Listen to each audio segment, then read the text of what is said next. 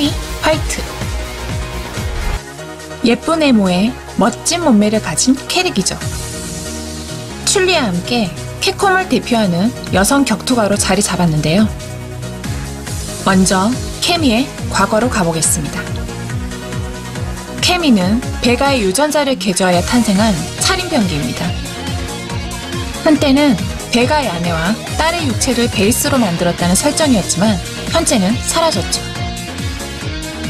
그리고 베가에게 세뇌되어 암살 임무를 수행합니다. 케미와 똑같이 베가에게 세뇌되어 활동하는 클론 부대가 있는데 그들은 베가의 친위대 돌스입니다. 돌스 멤버 중 디카프리가 케미의 클론입니다. 케미는 유일하게 베가의 세뇌에서 풀리게 되는데요. 부상을 당해 기억을 잃었던 케미는 우연히 영국의 특수부대에게 발견되고 그리고 델타 레드의 일원이 되어 큰 활약을 하게 됩니다. 세뇌는 벗어났지만 과거의 악행들이 기억나 고통스러워하기도 하는데요. 특히 한때 동료였던 돌스에게 공격받을 때 가장 고통스러워합니다. 섀도로 요원 출신이었다는 것을 잊기 위해 베가를 쫓고 있는데 진정한 목적은 돌스 멤버들이 걸린 세뇌를 푸는 것이었습니다.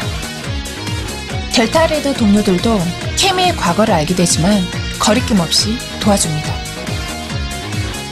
케미의 얼굴에 흉터가 있는데 섀도르 시절 발로그와 싸우다가 생긴 상처이죠. 케미의 협력자로 출리와 가일이 있는데요. 이 세 명은 배가를 막는다는 목표로 싸우는 동료입니다. 하지만 디카프리와 싸우던 케미는 마음이 흔들려 잠깐 동료들을 버리고 이탈하기도 있는데 나중엔 디카프리의 세뇌도 풀어주고 섀도르 개멸에 공헌합니다.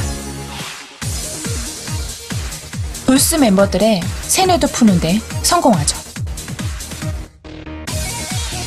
델타레드와 돌스 멤버들이 케미 덕분에 사이가 돈독해집니다. 케미는 뛰어난 전투 실력을 가졌지만 생각보다 여린 마음을 지니고 있는데 특히 고양이를 무척 좋아합니다.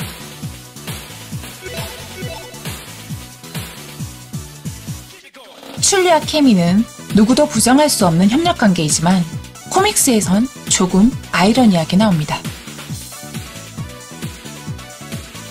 케미와 돌스 멤버들은 베가에게 세뇌되어 암살 및 공작 활동을 하고 있었는데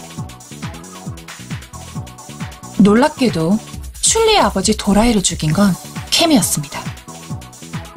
케미는 전혀 기억을 하지 못했기에 춘리가 용서를 해주고 동료가 되긴 합니다. 스트리트 파이터 영화 속에도 캐미가 나오는데요. 영국 유명 가수 카일리 미노구가 역할을 맡았었죠.